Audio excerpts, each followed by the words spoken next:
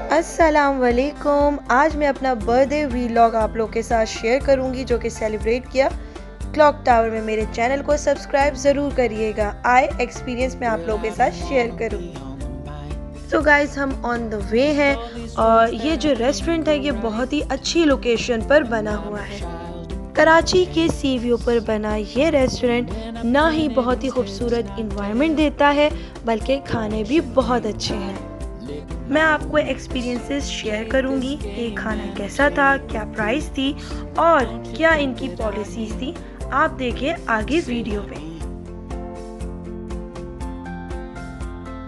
तो हम आ गए हैं क्लॉक टावर के अंदर, जो कि बहुत ही रश था क्योंकि संडे था।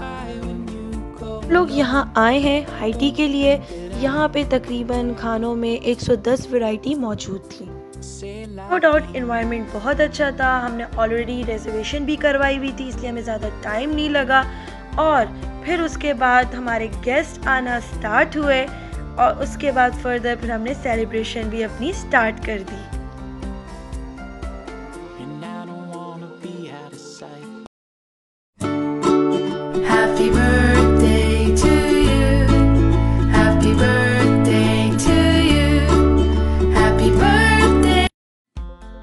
इस सेलिब्रेशन में अपने भाई को, तुबा को बहुत मिस किया अपने बड़े भाई को भी मिस किया।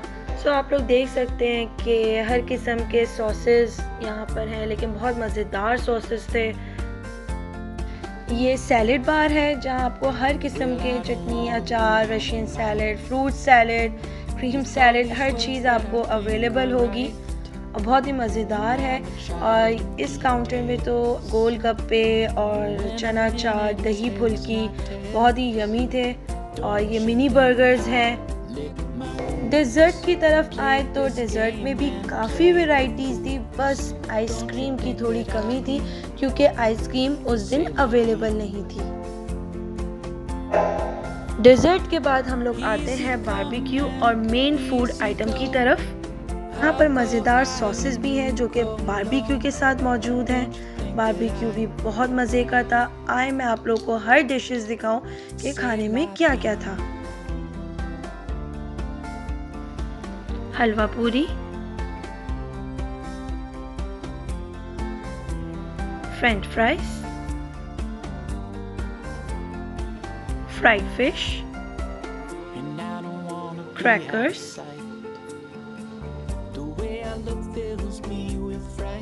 fried rice shashlik chowmein समोसे रोल ये हम पाकिस्तानी देसी फ़ूड की तरफ़ हैं। पकौड़े। नान। ये खाली था जो कि आने वाला था।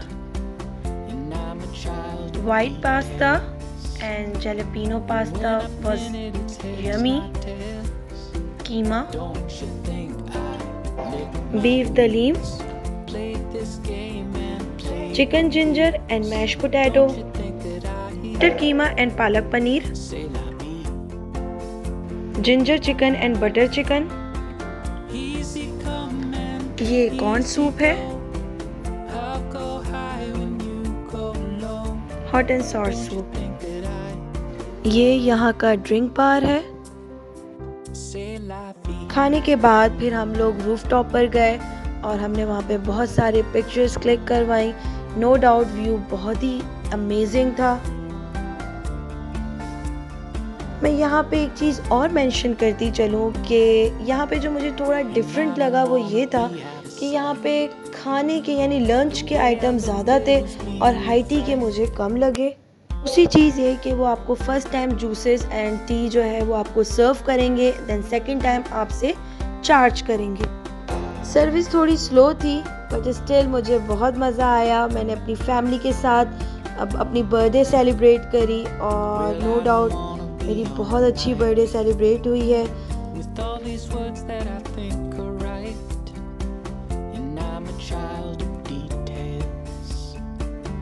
सो गाइस उम्मीद करती हूँ आपको ये ब्लॉग मेरा पसंद आया होगा। So thanks for watching for more videos please subscribe my channel